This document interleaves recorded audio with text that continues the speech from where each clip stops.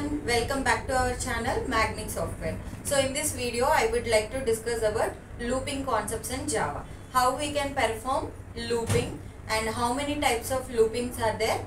We will see the syntaxes with examples. Okay. So in condition in control structures we are having three types conditional statements, looping statements and jumping statements. So in this video I would like to discuss about looping statements. Looping uh, statements. So how many types of loops we are having? Three loops. Okay. So in that I would like to discuss about first one while loop. What I would like to discuss here while loop. So, what is the syntax to represent while loop? What is the syntax to represent while loop? First of all, you need to write down while is a keyword. Okay. Whatever the condition you want to write, write down the condition. Okay. Then, whatever the statements you are having, you need to write down the statements. Okay. Within the loop. So, this is the syntax to represent your while loop. But if you want to perform while loop, we need to follow some steps. What are the steps we need? First one, initialize. Initialize the value to the variable. Value to the variable. So you need to declare one variable. In that variable, you need to store some value. Second point is nothing but check the condition. So whatever the value you are taking, you need to pass that value into the condition. So if condition is satisfied, if condition is satisfied, if the condition is satisfied, then it will print value. Then it will print value.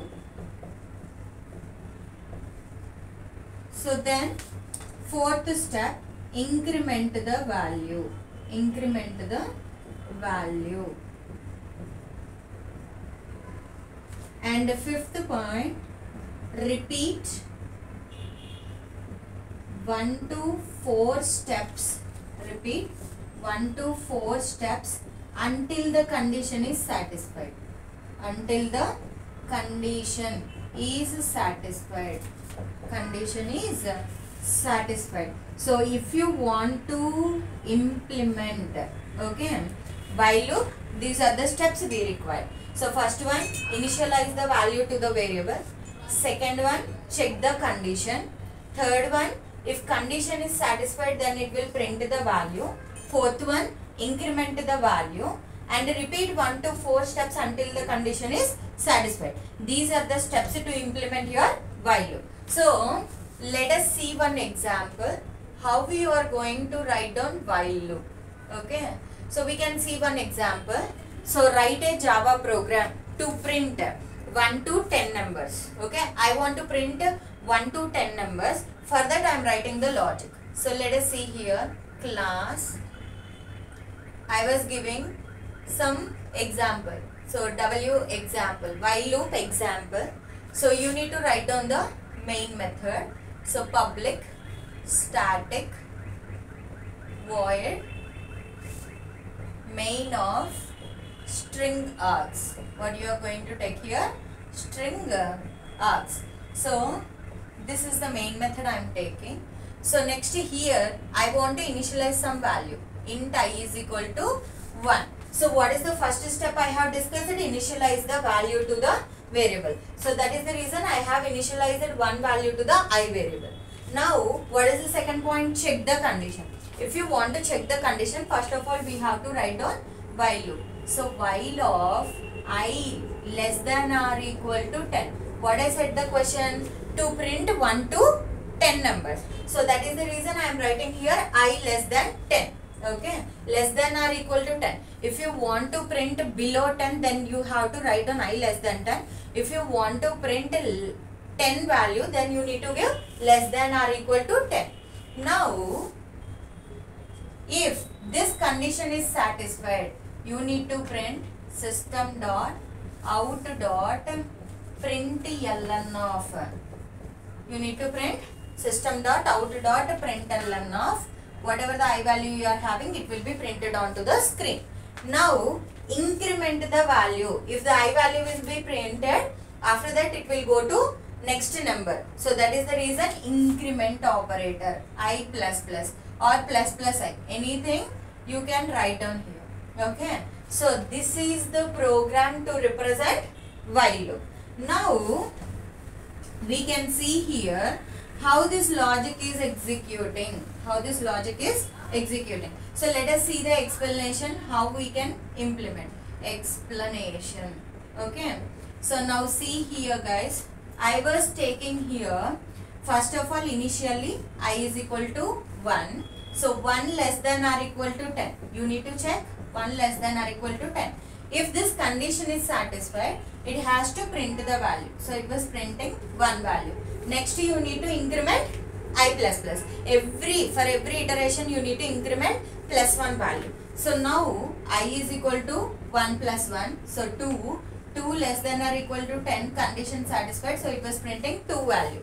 Again i is equal to every iteration you need to do plus 1 i plus plus is nothing but i is equal to i plus 1 i is equal to i plus 1 so you need to increment every time with plus 1 value. So i is equal to 2 plus 1 so 3 so 3 less than or equal to 10 condition satisfied. So it was printing 3 value. I is equal to 3 plus 1 so 4 4 less than or equal to 10 condition satisfied. So it was printing 4 value. Okay? Like that up to how many times the iteration will be taken place? 9 plus 1 is equal to 10 so 10 less than or equal to 10 the condition is satisfied. So it was printing 10 value. So like that by using while loop you can print 1 to 10 values. Okay? This is all about your while loop. Now we can see how we can work with do while loop. So what is the syntax to represent with do while loop? So let us see the second one. Do while loop. Okay? So coming to the do while loop so here first of all you need to write down do. Whatever the statements you are having write down the statements okay? Now you will write the while condition. So while of uh, whatever the condition you want to write down write down the condition here okay? So same program but i am doing little bit changes. See here instead of a while loop i am writing here do and here here i am writing while of i less than or equal to 10 so same program but you are doing a simple changes okay? So now you are going to see here what is the how the output you are getting. In do while loop there is a small change. When we are using while loop you are checking the condition then it was printing the value. But coming to the do while loop first it can print the value then it will check the condition for suppose if i am taking i is equal to 1 okay first it will print one value then 1 less than or equal to 10 condition satisfied. Again i is equal to 1 plus 1 so 2 it can print the 2 value. 2 less than or equal to 10 condition satisfied. Again i is equal to 2 plus 1 so 3 so 3 value you are printing. 3 less than or equal to 10 condition satisfied in the same way i is equal to 3 plus 1 4 so it can print 4 value. 4 less than or equal to 10 condition satisfied. Until how many times it will be repeated? I is equal to 9 plus 1 10 so it will print 10 value. So 10 less than or equal to 10 condition satisfied. In this way you are going to print the do while loop. In the same way uh, I want to show you how we can uh, perform decrementation. See when you are going to perform decrementation, the i value will be changed to 10. Uh, now I want to print 10 to 1 values. Okay. Now here you need to write down the condition and here you need to perform decrement operation. What we are going to perform? Decrement operation. i minus minus. For every iteration it will decrement with one value. Okay. Now I was taking here i greater than or equal to 1. So this is the condition to print the numbers from 10 to 1. Okay. I want to print the values from, write a Java program to print values from 10 to 1. Then you have to initialize i value with 10. You need to write down the condition i greater than or equal to 1 and you are writing here i minus minus. I minus minus means i is equal to i minus 1 every time you are decrementing with one value. Now i is equal to 1 initially one value will be print. 1 greater than or sorry 10 eh? okay here. What is the i value now? 10 so i is equal to 10 10 will be printed so 10 greater than or equal to 1 condition satisfied. Next what is the operator we are using? Decrement operator. So 10 minus 1 okay? Uh, 9 it is going to print 9 value but 9 greater than or equal to 1 condition satisfied.